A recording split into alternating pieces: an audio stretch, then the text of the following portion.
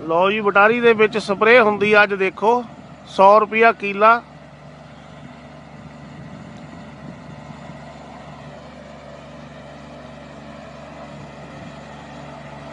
ਮੰਡੀ ਅਹਿਮਦਗੜ੍ਹ ਜਿਹੜਾ ਨਰੰਗਾ ਦਵਾਈਆਂ ਵਾਲਾ, ਉਹਨੇ ਲਈ ਆ ਇਹ। ਬਹੁਤ ਵਧੀਆ ਚੀਜ਼ ਆ ਇਹ। 100 ਰੁਪਿਆ ਕੀਲਾ ਸਿਰਫ।